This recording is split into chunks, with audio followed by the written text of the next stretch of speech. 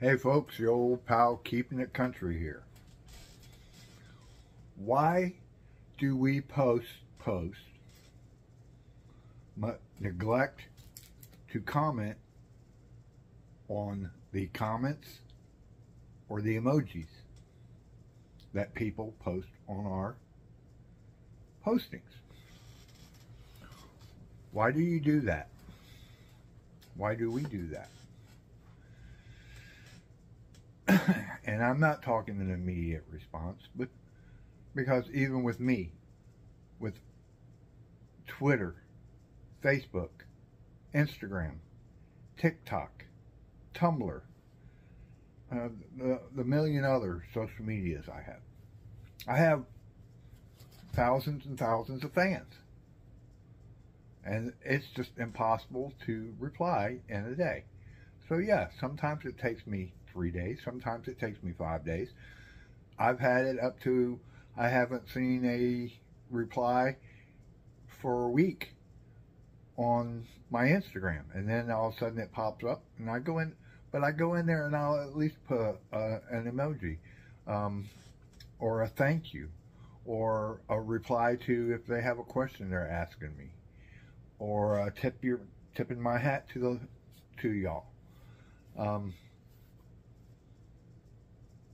there's a fine line between confidence and arrogance. Okay? Don't be so arrogant that you don't think that you don't need to reply to your fans or supporters who are commenting on your post, but yet, for whatever reason in your mind, I don't have time, I've got this show, I've got, you can't simply hit them with an emoji or a thank you. Because I'm going to tell you, the way this works is all fans, all supporters, even you, you want confirmation that you're somebody. And that if you've taken your time out to reply or post or comment or send an emoji to somebody's posting, you would like to have that reciprocated. We all do. Even the artist, you want that. You want the affirmation that my posts are being seen, they're relevant. My fans and supporters, that's what they want to see. So why are you neglecting that part of your job? I said it. Job.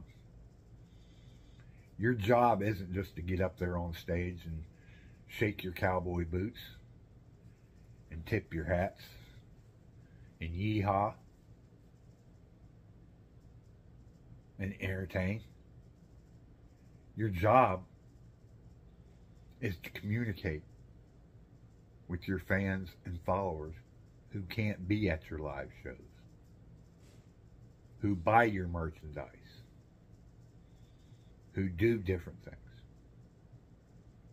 So, that's all I got to say for this session. And until we meet again, y'all remember to love one another. Remember to be kind to one another. And this is your old pal keeping the country. We'll see you later.